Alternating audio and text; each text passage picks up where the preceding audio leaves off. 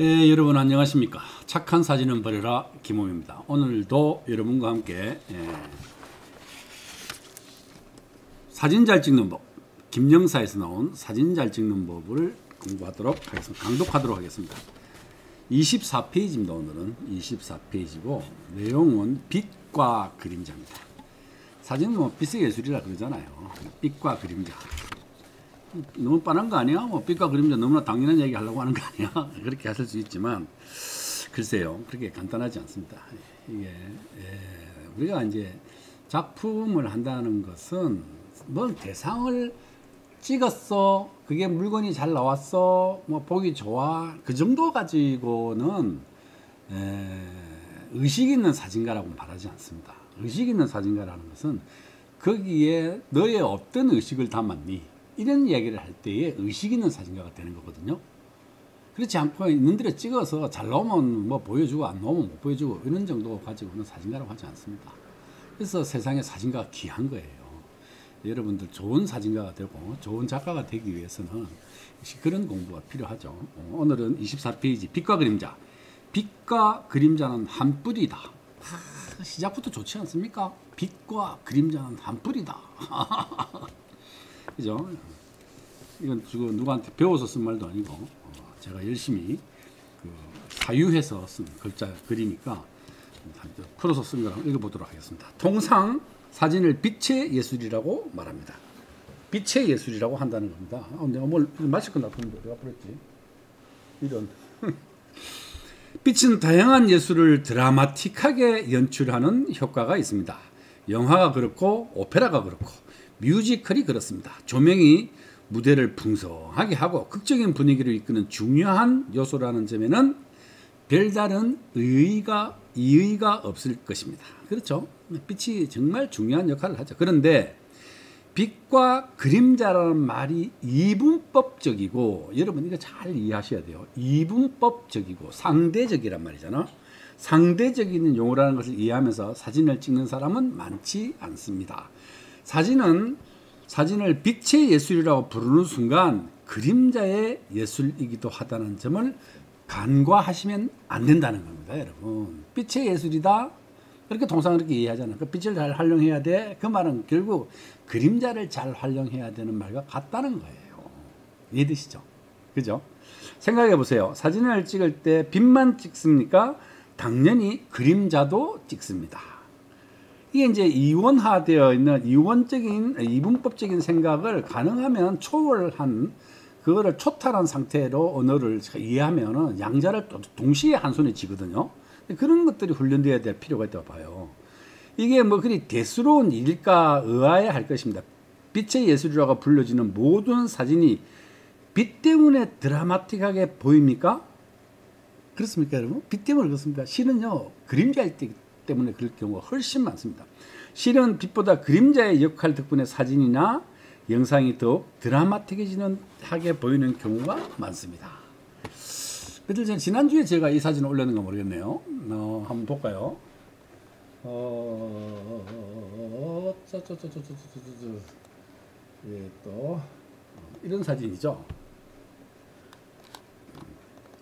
빛은 빛보다는 그림자가 훨씬 강력하죠. 그림자가. 그죠? 그림자가 훨씬 강력해서 빛 때문에 같다기보다는 그림자 때문에 그림이 되었다. 이런 생각을 할 수 있다는 거예요. 이거는 빛 때문에 그렇다 치지만 여기 어두운 푸른색 때문에 훨씬 더 드라마틱한 그림이 되었죠. 예? 빛, 빛의 예술이라고 어, 이라는 말에 갇히면 빛에만 집중합니다. 제가 하는 말씀 이해되시죠? 빛, 빛의 예술이라고 하는 말에 갇히면 그죠? 갇히면 빛의 예술이라는 말에 갇히면 빛에만 집중하게 됩니다. 그림자의 예술이라는 말에 갇히면 그 반대가 되겠죠. 만약 사진은 광량의 예술이라는 말을 처음부터 접했더만 아마, 아마 빛이나 그림자 둘 중 하나만 지중해서 보는 버릇은 생기지 않았습니다. 광량, 그죠? 광량, 빛과 그림자, 뭐 이렇게, 그죠? 예, 카메라를 들면 자연스럽게 빛과 그림자를 동시에 보고 그런 능력을 애초에 키웠을 것입니다. 광량의 미술, 예술이라 그랬으면 빛의 예술이다 뭐 그렇게 하는 바람에 우리가 빛에 집중하잖아요. 또는 그림자의 예술이다 그랬으면 그림자에 집중하겠죠. 그래서 빛과 그림자가 동시에 있으면 광형의 예술이다. 그랬으면 빛과 그림자 동시에 집중했을 거 아닙니까? 훨씬 좋은 사진을 찍을 수 있었겠죠. 제가 하고 싶은 이야기는 25페이지 위입니다. 제가 하고 싶은 이야기는 사진은 빛의 예술이란 말처럼 우리가 자신도 모르게 언어에, 언어에 얽매인다는 것입니다. 교육에서도 사회적 간섭에서도 이렇게 이분법적인 말이 많습니다. 인간의 두뇌가 비교할 만한 상대적인 대상이 있을 때 두 개체를 확연히 구별하기 때문입니다. 이것은 내각의 문제일 뿐만 아니라 인식을 다루는 동서약 철학에서도 빈번히 사용됩니다. 예를 하나 들어보겠습니다. 요즘은 승강기라는 말은 거의 사라지고 엘리베이터로만 부릅니다. 승강기 아시죠? 엘리베이터. 그죠? 요즘 다 엘리베이터라 그러잖아요. 엘리베이터는 오르다는 의미만 가지고 엘리, 엘리베이터. 영어 되네요. 그렇다면 승강기는 어떻습니까? 오르다, 승, 내리다, 강이라는 두 가지 의미가 동시에 존재합니다. 훨씬 합리적이지 않습니까? 그죠? 이 두 세계를 공, 공유하고 존재를 인정하는 게 훨씬 합리적이잖아요. 근데 엘리베이터, 서울 사회는 그렇거든요. 엘리베이터, 에스컬레이터, 이런 식으로 한쪽만 지중한다는 거죠. 이런 개념을 사진뿐만 아니라 삶의 현장에서 능숙하게 구사하면 더 풍요롭게 살 수 있습니다. 대립과 반목이 가라앉습니다. 좋은 발견이죠, 그죠? 그죠? 양쪽을 다 인정해 준다는 거예요. 승강기로 오르고 내리는 것을 인정해 준다. 그러니까 오르기만 하는 건 아니다. 올라갈 때 못 본 꽃, 내려올 때 보았네. 그죠? 이런 게 인생이잖아요. 그런 이제 안목, 어, 그렇게 세상을 양자를 동시에 인정하고 그걸로부터 융합하고 초탈하고 초월하고 하는 그런 안목이 우리한테 필요하다는 거죠. 저는 촬영을 할 때 빛보다 그림자를 많이 봅니다. 여러분 아시겠죠? 노하우예요. 빛보다 그림자를 많이 본다.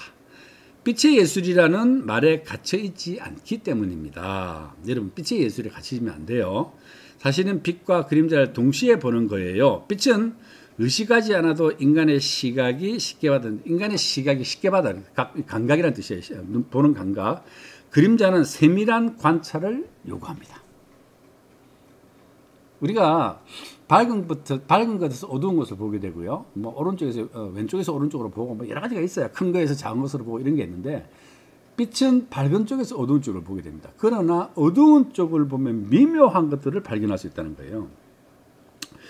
빛은 그림자를 만들기 위한 것이라고 이해하면 빛은 그림자를 만들기 위한 것이다 이렇게 이해를 한다면 우리 사진이 좀 더 풍요로워지고 인상적이게 될 것입니다. 그죠? 이해되시죠? 너무 빛에만 치중하지 말라. 그런데 그렇게 말해 얽매이지 말라. 빛의 예술이다. 이런데 얽매이지 말라. 그림자의 예술이기도 하다. 그러니까 빛과 그림자를 동시에 보는 안목을 키워라. 한쪽에 치우치지 말라. 중용을 해라. 이런 말이잖아요.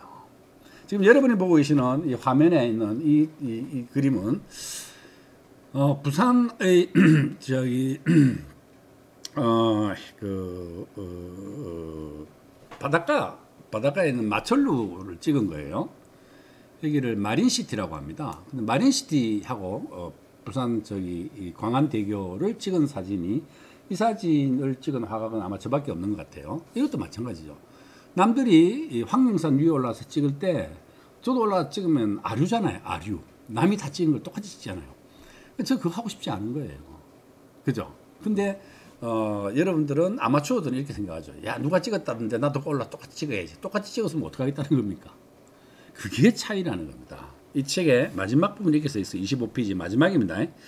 여러분은 빛의 예술가입니까? 그림자의 예술가입니까? 요런 데 끄달리면 안 된다는 거예요.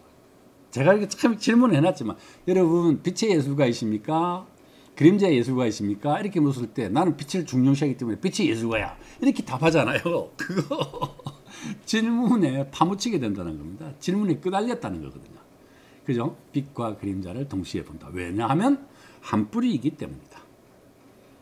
그런 안목이 있어야 된다. 빛과 그림자는 이미 한 뿌리라고 제가 위에다 했어요. 그죠? 이 책의 24페이지 위에 빛과 그림자, 그 다음에 부제가 빛과 그림자는 한 뿌리다 이렇게 나와 있어요. 아시겠죠?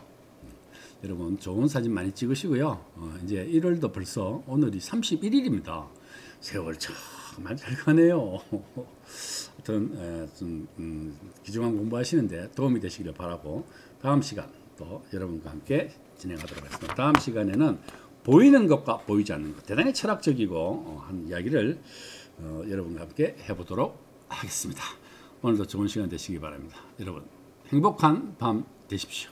감사합니다.